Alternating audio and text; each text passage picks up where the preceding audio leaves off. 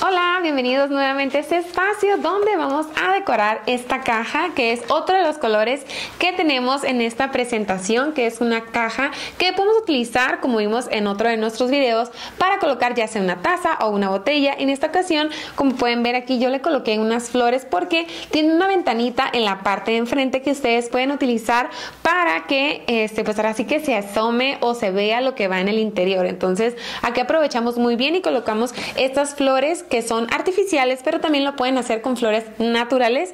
Pueden revisar algunos de nuestros otros este, videos para ver cómo colocar la parte de abajo del oasis y demás para no dañar nuestra caja. Muy bien, ya tenemos nuestras flores aquí como pueden ver asomándose por esta ventanita y lo que vamos a hacer para realzar todavía más esta bonita caja es que vamos a darle un toque eh, de, ahora sí que de diseño porque como tenemos una caja lisa, vamos a realizar nuestro este nuestro moño y le vamos a poner aquí un toque con uno de nuestros listones de San Valentín. Y también vamos a utilizar un poco de listón de yute. En esta ocasión vamos a hacerlo un poquito más este no tan no tan combinado un poquito más serio por así decirlo. Vamos a colocar eh, cuatro gajos de cada lado y vamos a amarrar con nuestro listón curling. Este recuerden también que pueden ver nuestro catálogo donde tenemos diseños de listón curling como estos que tengo aquí que tienen corazoncitos hay en base de papel y hay en base metálica y también toda la variedad de listones que tenemos de toda ocasión y colores lisos que ya saben que es un muy buen complemento para nuestros listones de San Valentín los nuevos diseños como los diseños anteriores este, que tenemos en nuestro catálogo. Muy bien, aquí tenemos nuestra base que es de dos, eh, dos gajos de cada lado. Vamos a repetir, vamos a repetir nuestro proceso, pero recuerden que lo vamos a hacer eh, un poco más pequeño el que va en la parte de arriba. Siempre que vayamos eh, ahora sí que agregando una capa de, eh, de ahora sí que de listón ya sea de papel o de yute nosotros debemos ir haciendo el moño un poco más pequeño.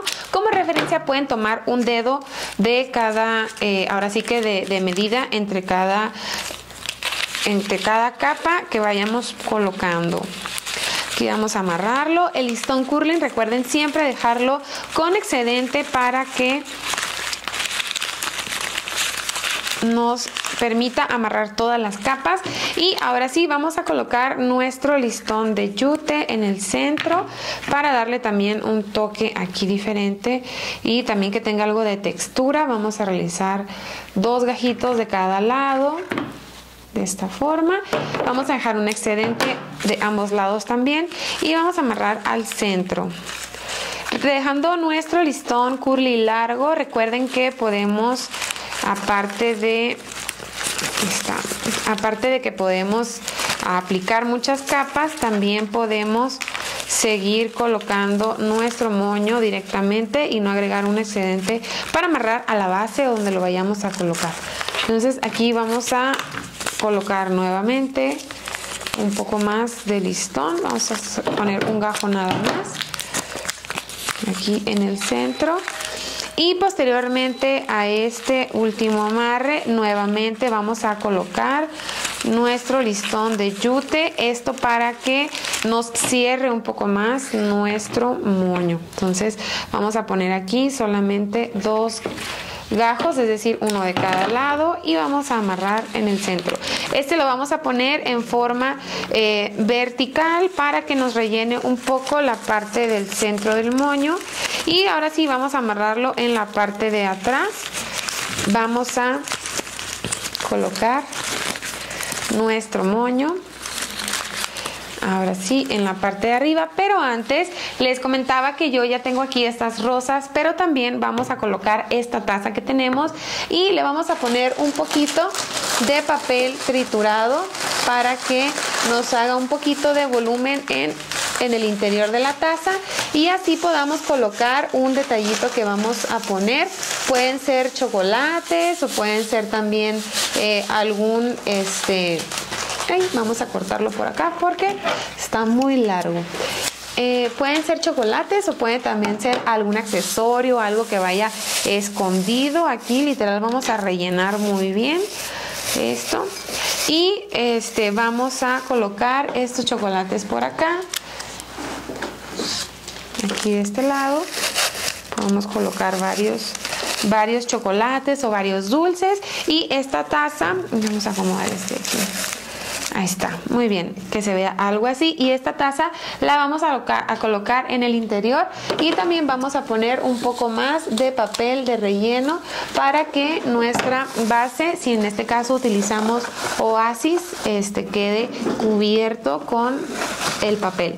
Entonces va a quedar de esta forma y así como pueden ver podemos utilizar lo que son nuestras flores y también nuestras este, nuestro regalo que va en la parte de adentro. Vamos a cortar los excedentes. Y este de por acá también. Vamos a rizarlo un poco. Este de aquí. Está. Muy bien. Entonces, ahora sí lo vamos a amarrar aquí en la parte de arriba. Y listo, ya va a quedar nuestro. Vamos a amarrarlo aquí. Incluso los podemos utilizar como dulceros, ya que estos podemos, eh, ahora sí que literal, eh, agregarle esta agregarle la cantidad de dulces y como pueden ver aquí podemos ver todavía lo que va en el interior ya sea los chocolates o más flores también si ustedes así gustan. Entonces esta es otra forma de cómo utilizar estas bonitas cajas que les recuerdo los tenemos en cuatro colores. Aparte de esta negra tenemos esta que es color menta esta que es color rosa y esta por acá que es en color rojo. Entonces eh, así quedaría nuestro proyecto del día de hoy y los invito a que revisen los demás videos que tenemos para ustedes en nuestra página. Mi nombre es Cintia Aguilar, nos vemos la próxima. Adiós.